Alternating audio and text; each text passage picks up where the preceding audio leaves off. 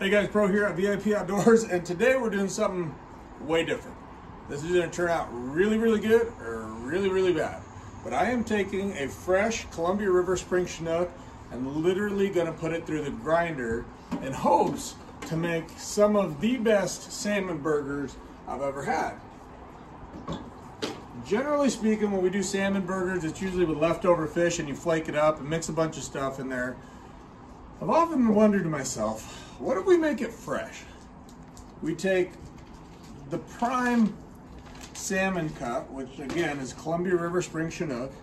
We're gonna cube it up and hand form patties. And again, it's gonna turn out really, really good, or it's gonna be a bust and I'm gonna feel like I wasted a Columbia River Spring Chinook. I'm gonna eat it regardless, you know. But here's what we gotta do, guys. Before we put it through that LEM grinder, that one's a 7.75 horsepower, we gotta cut this up into cube sizes. So if you look here, I already started. We got, I don't know, whatever that is, measurement, about inch and a half to two inches um, cubed in a fish cube form, if that's a thing.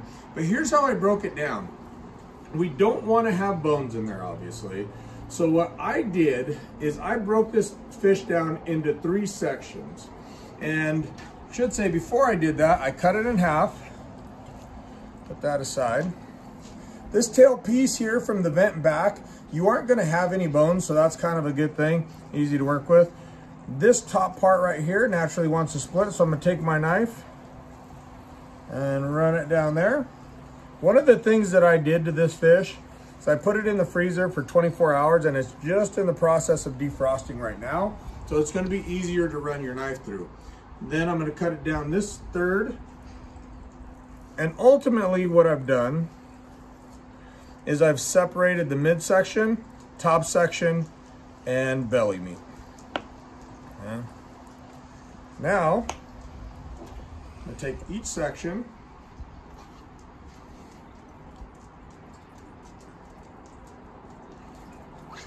and fillet it away from the skin. It's pretty simple really. Once you have it frozen, you can almost just pull the skin through there and it wants to naturally come off.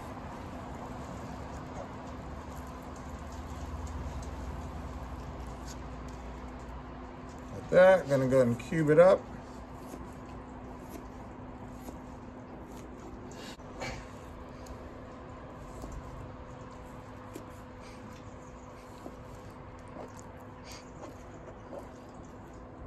Well, I got it all cubed up. One of the things you want to make sure you do is make sure you remove all the pin bones, all the rib bones. Again, everything that goes in this grinder is also going to come out. So my hope is that there's so much fat in a Springer that it naturally compacts together and binds together to where I don't have to use a binder.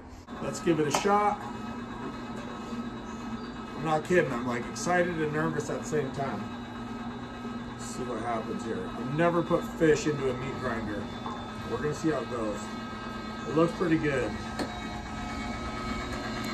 That's some good looking meat, I'm not gonna lie. And with that meat being partially frozen, it runs through that grinder really, really nicely. I also put the components of the grinder in the freezer as well to keep everything nice and cold.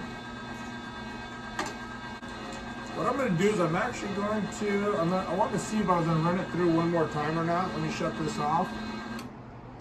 See what a patty, patty's gonna look like on this. It's exactly what I was hoping, is that there's enough fat in there that it naturally binds together. I am gonna run it through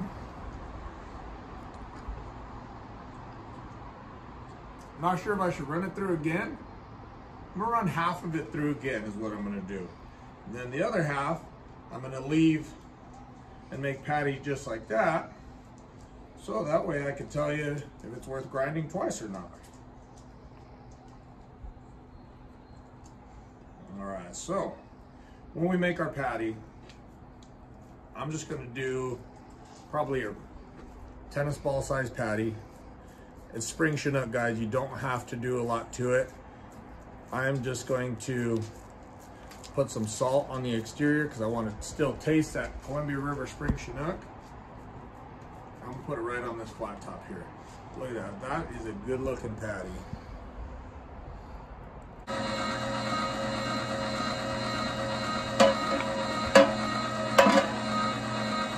So check this out guys, this is a second pass through and the consistency definitely changed. This is almost like a, oh gosh, I don't even know. Maybe like tuna can type, just kind of mushier, I suppose.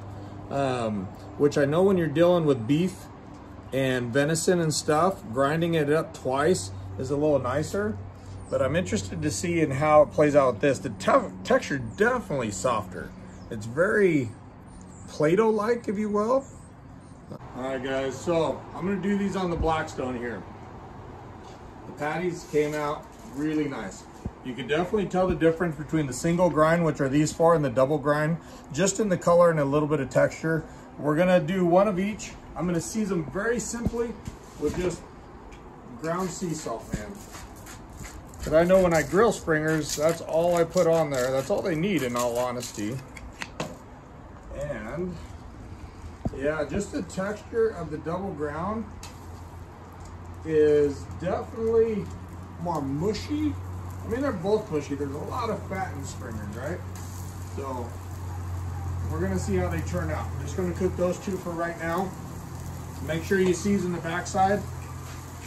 And while these are cooking, we are gonna go get our buns ready to go. All right, what are we going to do for buns? I'm gonna go with the pretzel bun. I really like pretzel buns. They're nice, they're hearty. They hold up very well, hence the hearty, I suppose. Split these guys open.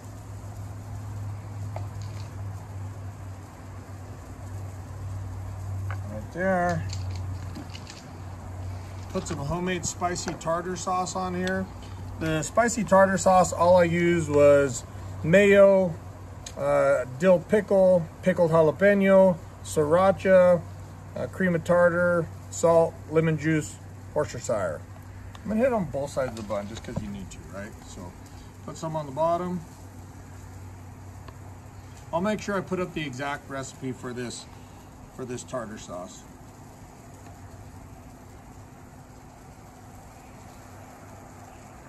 Okay, get that out of the way. We're gonna put the buns on that side, or excuse me, the patties on that. I'm gonna slice up some tomato. I'm gonna slice the tomato pretty thin. I don't like a lot of tomato on my burger, just a little bit. Right. That put aside. Cut my lemon. I'm gonna do a quick arugula salad to put on top of that salmon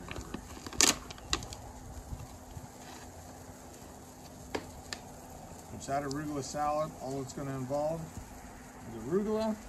I said I'm gonna put the patty on there. I lied. Changed my mind mid-stroke. What are you gonna do? Right there. I just put a little olive oil on there. Put a little lemon juice. Fresh cracked pepper. and a little bit of good old-fashioned salt. I'll put tartar on the top bun also because I don't know what it is about burgers. I hate when there's a dry bun.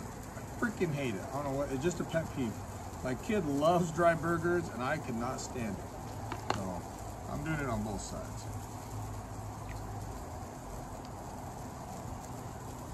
All right, let's go take a look at the patties. All right, guys, looking pretty good here. So as you can see, it's starting to change color. About halfway up, we got some color. There's some serious fat coming out of that patty, just natural fat. Um, and that's what these springers are known for. So take your flat spatula. That's a nice little crunch on the top. Remember, that's the single grind. Is that right, Kim? Yeah. Yeah, that's a single grind. I think I might have already lost track. One's a single and one's a double. We're gonna figure out which one's which though. I lost track of which one's which. I'm pretty sure this is the double grind. Again, we got our double grind there on the right, single grind here on the left. I'm actually gonna throw some pickled red onions on there because I've never known fish to not be good with pickled red onions. I don't know. You want tomatoes, Cam? Yeah, all right. Cam wants tomatoes. We're putting tomatoes on a couple. I'm not a huge tomato guy on burgers. But there we have it, guys. Double and single grind fresh Columbia River spring Chinook burgers. Let me cut one of these open, see what it looks like.